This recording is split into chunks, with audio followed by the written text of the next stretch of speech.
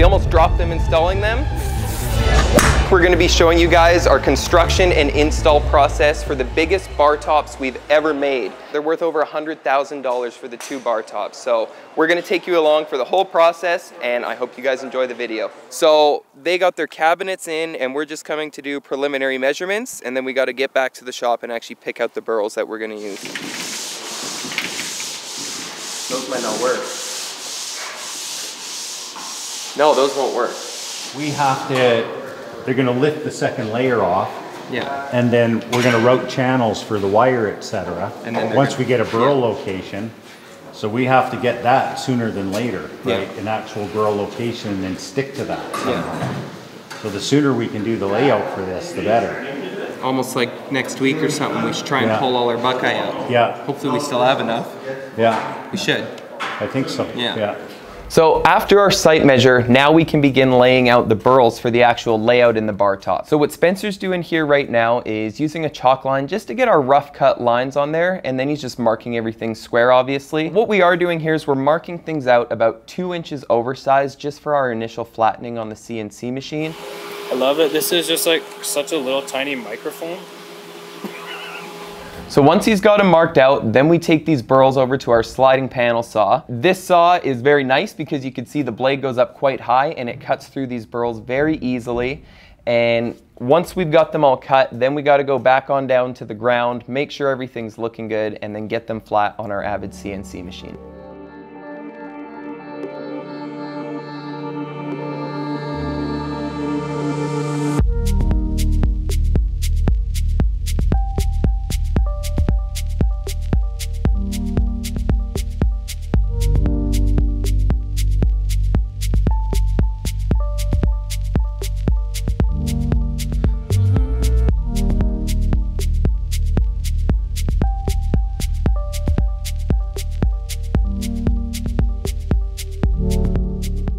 After flattening and getting the pieces in the mold, we can actually start mixing up the resin and pigmenting it for the pour. So this piece is going to incorporate LED lighting, so we don't want to go too dark with this, but we do want to have kind of this slight black tint just to tie into all the other materials in the space. So I think we ended up doing about five drops of the black color effects dye, and we're just pouring all of this resin in a single shot here. We have no need to do a base layer because we actually want to see through this piece. And with our Black Forest Deep resin, we can pour up to three inches thick like you're seeing here in one shot. One thing I will mention is if you're going to do a thick pour like this, it is critical to have lots of cooling. So we have an air conditioned room, we have large fans that we actually blow on the surface of the pours, and then our pour tables themselves have a sheet of aluminum beneath them that has water cooling that runs throughout the whole thing.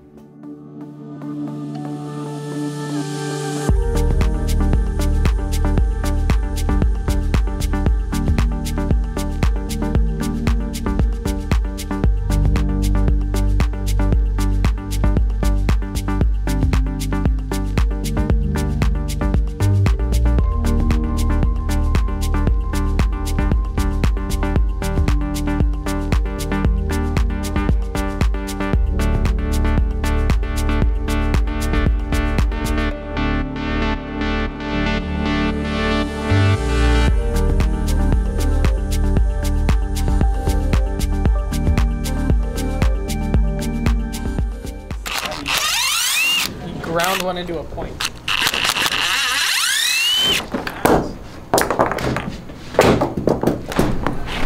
A little bit offside there.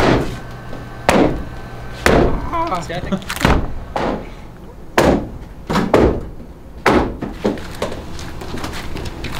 There it goes. Going down.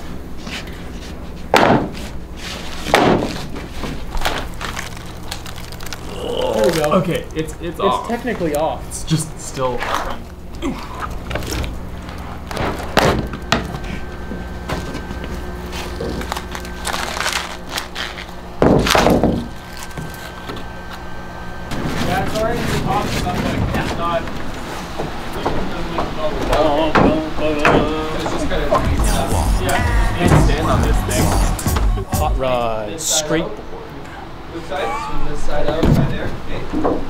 After waiting seven days for the cure, we get it demolded, and it is kind of stressful to move pieces like this, especially this one.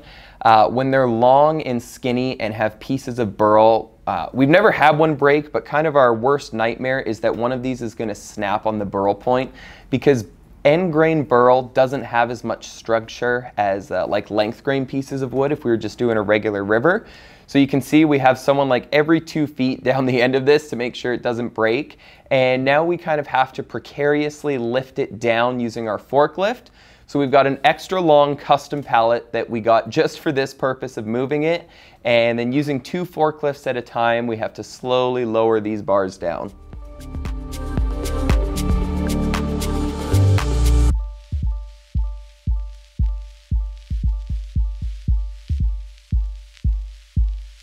once we successfully get it down without dropping it, then we're back onto the Avid CNC for more flattening here. And what we're trying to do is just go back down to the surface of the wood. We don't actually want to leave a layer of epoxy on there. The only reason that we over pour is so that we can fill in all of the cracks and voids in a single shot. But when it comes to our finish, we want to go right back down to that wood surface. So in order for us to trace out the LED lights on it, um, we kind of need, actually need to flip it upside down to trace the bottom side of the burl. So you want to get it over on the sawhorses for now. Do. So we can at least get it sized, because Yeah. then we'll know for sure how much of the burl is going to be showing and whatever. Yeah. Then after flattening, we can go and use our Festool track saw for some sizing on this piece. Again, with the Festool track saw, especially if you want to get a clean cut, make sure you go in a few passes. Otherwise, you'll probably get burning, the blade will deflect, and it's just not going to be quite as clean as if you did it in a couple passes. Now, what we're doing here is actually templating out the exact shape of every piece of burl. The reason that we need to do this is so that we can take this template, go on site, lay it down where this bar top is going to go and trace it out onto the physical substrate. Then UTEC, the company who's doing our LED lights for us, will go and place their lights on that substrate in the exact location of where our burls will be.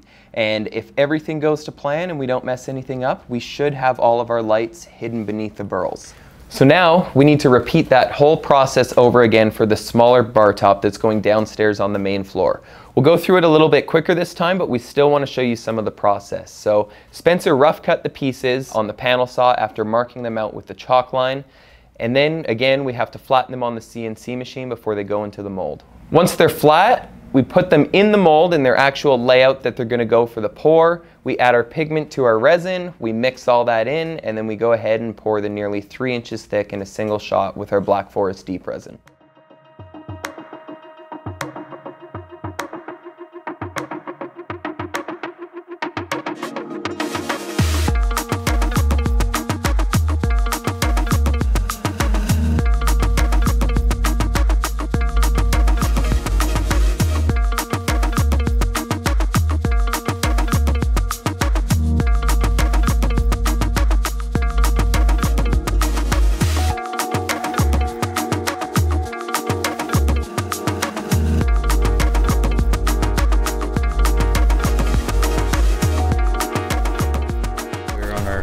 Bar top.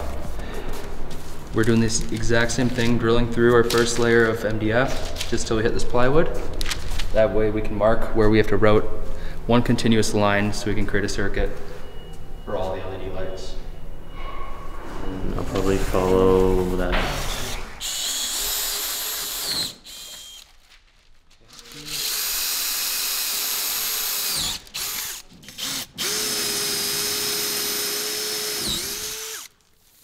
All right, so we got our holes drilled. It's marked us onto our second surface where we have to run all the wires to connect our circuit. We'll be routing a half inch slot that's two to three mils deep just to allow this wire to recess into so it can run flush to the countertop. So as John just mentioned, he's working with Alex from U Technology to lay out where the lights are going to go on here. And I just wanted to give a big shout out to U Technology. They're the company that's supplying the LEDs for this project, but they did a whole lot more than just supply the lights. There's Alex here on site helping our guys out and making sure that this install went flawless. Now we have to go to Jekko. They actually needed our help to come down and flip these things just because it's so nerve wracking to move them around. So we brought all the boys down, we flipped them over, and then they can start to prepare to put the finish coats on here. So I believe they do two coats of sealer and then two or three top coats. In total, it ends up being somewhere between five and six different spray coats that they put on these pieces. A piece like this, it's especially important that we, we build up as much of a coat as we can on here because these are gonna get used heavily. Like there's probably going to be hundreds of people every single night that are gonna use these bar tops. So we need to make sure that they last. So once Ian at Jetco has sanded the pieces and prepped them for spraying. He can go ahead and start with his sealer coat. Between this and the pour, this might be one of the most satisfying parts of the process because you get to see all of your hard work actually come to life in the way it's gonna look in the finished product. So one thing that I really like about this piece too is you can see that we got the natural kind of bluish gray staining in the buckeye and it kind of ties in perfectly to the color of resin that the client chose.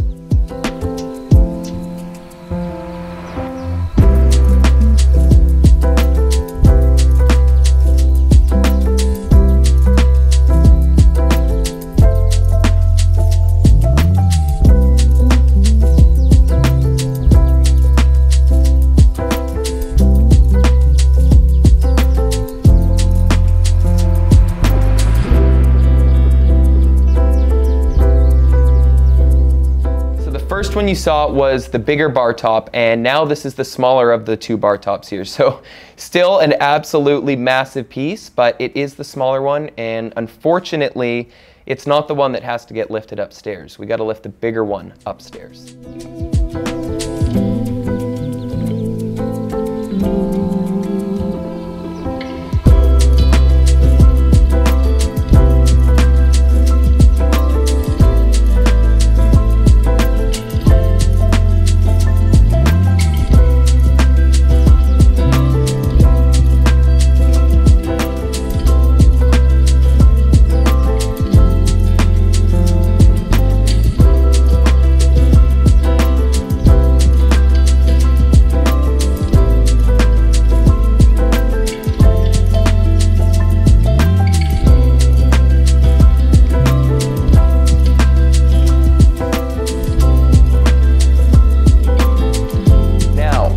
Those of you who follow us on Instagram have probably seen this clip before. What Jack is doing here is flame polishing some acrylics risers that are going to be used to support the bar top.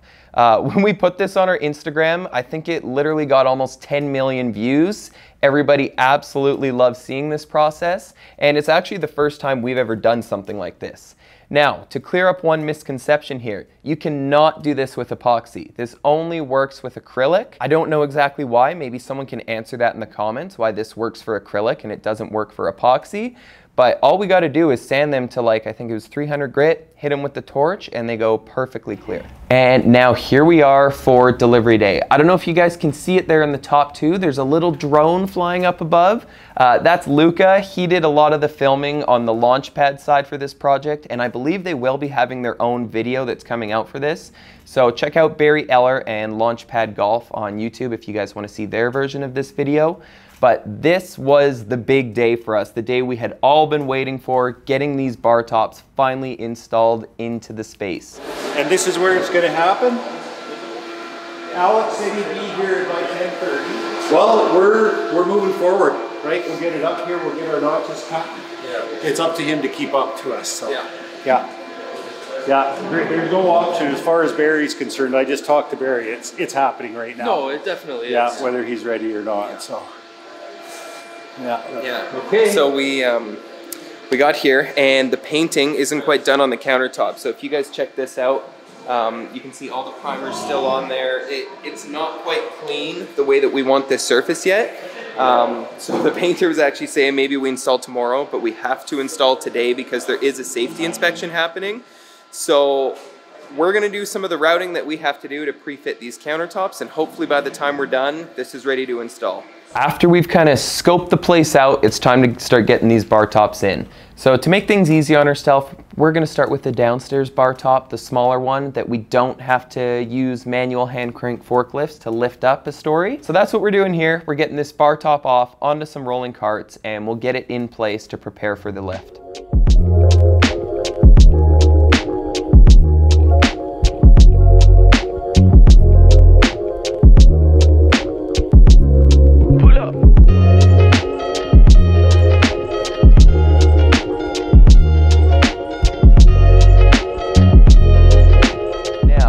This is the part we were kind of dreading. We have to take the bigger of the two bar tops all the way upstairs to the second bar. As you guys can imagine, these bar tops are not light, so this is gonna get a little stressful here for us. We did not realize what was about to happen, and I will just let you guys watch and see.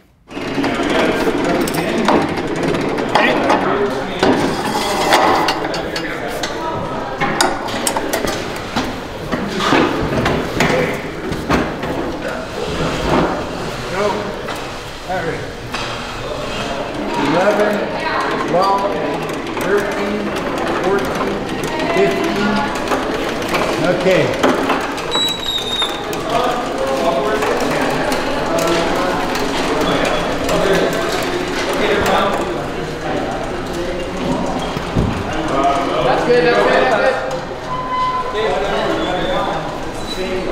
You guys are pretty close right now. That's good, that's good, that's good. Okay, yeah, we're over. Oh my god. so now the idea, keep a hand on it guys, is we need two men on each one of these jacks here to stabilize and push it. Slide right? To slide them. So we need two more bodies down here. That's not enough. You feeling strong? Not strong enough. I don't think this railing's gonna hold the two of us if we lean. No. Do you guys feel pressure right now? I'm a, I'm a little uneasy, you know, just a tad. This is one of the sketchier things that. Okay, we're gonna push, I'm gonna count. Okay, we we could rest it here. Well, go as far as you can with the jack. He stop. The other Go two. lower, Mo, go lower. Mo, go lower. Okay, stop, stop, stop. Mo, you gotta come out now. Okay. Stay there. Whatever you guys do, just be aware that that end of this wants to slide off. Oh. Yeah. Oh, you gotta go. Up. Go up together. Someone count. More, Mo. More. Okay. Pushing in. Okay, push. Leave it, leave it. Stop. Stop. It's like it's tipping. Yeah. Oh, yeah. Do we need to get a, the other lift in between those two so it can't slide forward? Backside. I think we need to get the other lift. Yeah, yeah. We'll have to move it, but we need something there for even the next two feet. Well, even we could just swing them that way. Yeah. Yeah, we can swing the end out. Yeah. Once you guys, once you guys have both of those, we can just move them both. Yeah. Like, All right.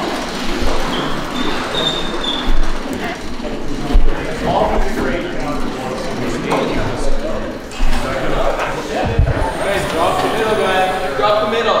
tell me when. You go all the way down.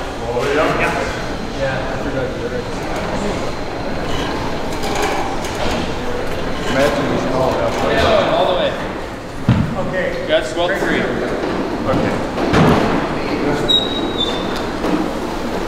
That was terrible. Yep. That was an awful feeling. If we only had two, we would have been screwed. Oh, Yeah. good. Good so far. We haven't dropped it, so. A little stressed though. All right, so as you guys saw, we were lifting that countertop up using the three hand crank jacks. And kind of what our plan was, was to lift it up evenly, drop the first one, and then start rolling it in. But as we were doing that, it started sliding off the back jack. And like we, we all saw it go, like probably this much, it was sliding off. Yeah, that was, that was brutal. I was sweating. I was I thought that actually was gonna fall for a second. I was actually sweating. So we all kind of panicked. I think we, we saw the whole job flash before our eyes and imagined this piece falling down. Uh, luckily, though, we were able to get the other jack around to the other side to kind of support it from both ways. We did have to hold it for a long time. I think a lot of the guys are sore and they were a little nervous, but luckily we managed to get it up. No damage at all to the piece. Everything is safe, and now we can move on to the rest of the install. So these are little spacers, clear, as you can see, but they are about a mil thicker than our metal here.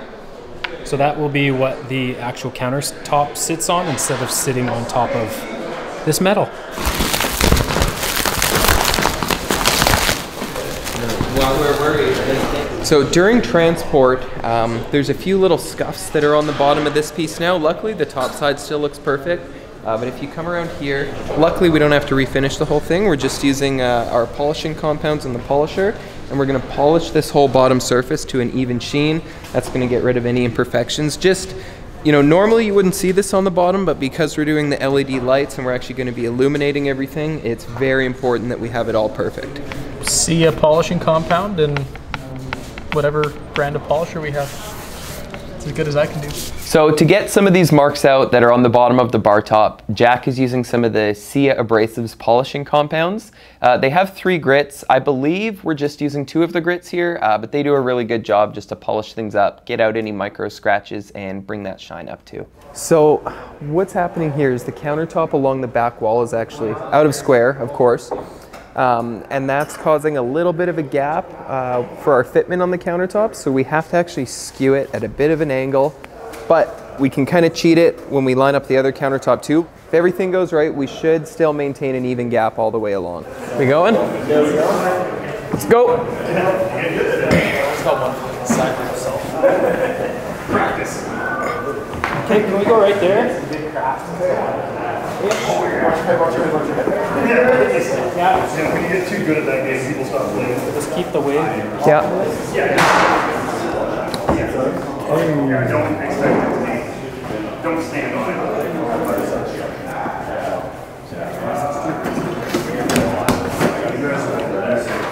Oh, yeah, I know. I. You guys seem not like you're having a good time.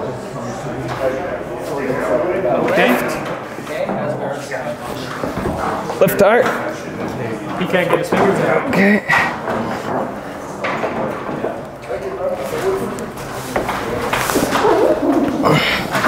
Right. We're just shimming up the countertop right now just to uh, actually get it to sit straight because this whole thing is so heavy that it's sagging the entire support system down. So we've got two sticks underneath there right now just to hold everything up. We're gonna add some shims underneath and then we should have it all sitting level. You what? You can't silicone it down today. Then I guess, yeah, we don't. We're gonna make some custom metal brackets that go underneath to support the thing. Yeah. Oh, they So are? as soon as they release it, it's just gonna sag and bring the silicone home. Yeah, true. Yeah. So maybe we just have to leave it today. Then we have to come back, fix the LED, get the tape, silicone it down. Wait, so are they saying they're going to build some support brackets? Like something like this that's actually No, no, like a Like a 90 degree? 45 Okay. from the edge of the plate to the counter. get it. Like it sounds like what they're going to have to do is weld a bracket from the end of the plate. The only thing though is like this is just hollow tin, right? I don't know how well that's actually going to hold. I don't think it'll hold at all. I don't think it's going to hold much. Do we want to just kind of set it on a little further? A little further. Lift up. further. Lift up. Okay. Three. Lift up. Okay. Okay. Like that? Yeah. Do we got to come more this way or? Yeah, we Uh, we should be able to get The last hole's right there. Okay. I should. We should be able to tighten this. Okay. David, get under lift that. Okay, so that is the end of day one. Uh, I'm at the upstairs bar top right now, and this one actually went a lot better than the downstairs bar. You guys probably saw during the install that we were scratching our heads and struggling quite a bit when it came to that lower one. I don't know exactly why that one is sagging more than this one, but the issue is, is that because of the weight, the whole thing's sagging down, where this one's not doing it quite as bad. So we are gonna be adding some extra brackets underneath, or the construction team here is. Uh, so we haven't secured anything down yet at this point. We're going to come back on Friday, do our final silicone to just hold this thing in place, uh, do any final touch-ups. If we need to put some more ceramic on, we'll do that. But that was a very successful day. The burls look absolutely incredible. The, we didn't know if this was going to work till we got these lifted on, and it completely gives the effect we were going for, where each individual burl has its own light source and it just kind of glows. Um, so we are very excited for this to be finished up. We'll be back on Friday, but then we're also coming back on the 29th for the big grand opening.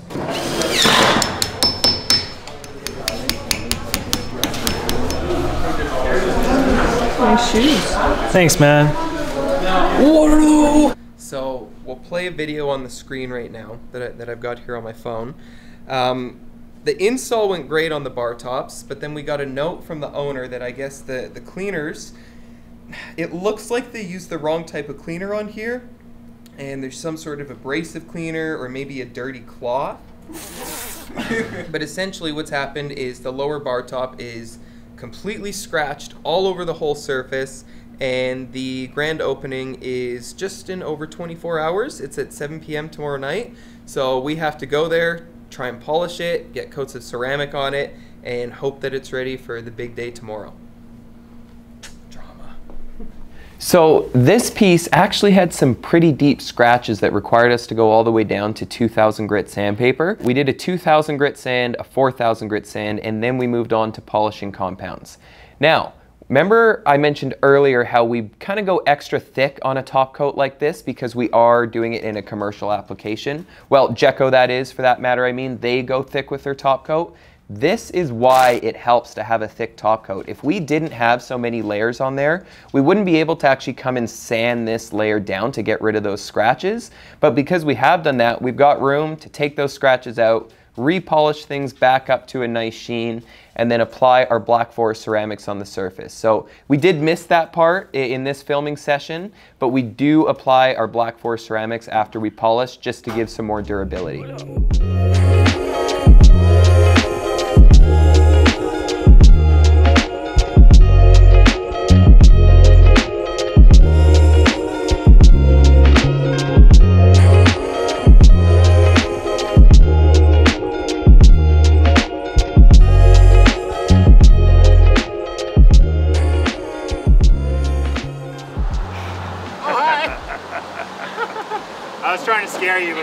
I got excited.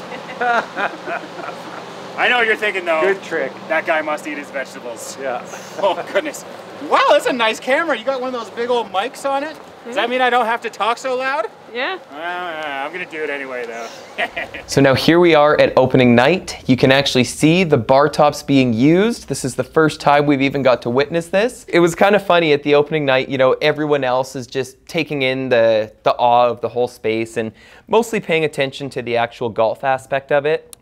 And then there's our whole crew. They probably thought we were alcoholics. We were just hanging around the bar the whole night, staring at it, oohing and awing over it. But you know, it was it was worth it. If if if I do say so myself, I think it was probably the coolest thing there. All right, so you guys just got to see the opening night at Launchpad. Our entire team had a blast. Some of us might have had a little bit too much fun, but that that's okay. Um, the bar tops now have been in here for, I guess, almost a month or so and they're getting well used. Everything still looks very shiny. We've got the hydrophobic effect from the ceramic we put on. So we're very happy with how that turned out. And I just have to again say a huge thank you to Launchpad, uh, especially Barry here for choosing us to work on this project. And then also a huge thank you to our entire team who absolutely busted their butts to get this done. This ended up being kind of a rush for us right in the end, and we had to go all hands on deck on this project. We did not know if we were going to get it done, uh, but the boys pulled it off. So we're very grateful for our team. So thank you to you guys, uh, and thank you to our audience as well for following along in this process. This is Probably one of our more impressive projects we've ever done. I know I keep saying that, but we always keep pushing the limits. Uh, it was an absolute pleasure to complete this, and we've got some more crazy stuff coming up soon. So if you guys enjoy this type of content, if you like seeing us make crazy, huge, expensive things out of wood and resin, please hit the subscribe button below. And if this was impressive enough to earn your like, then we'd also appreciate if you hit that. But that's all we got for this video this week, you guys. Thank you again for watching, and we'll see you in the next one.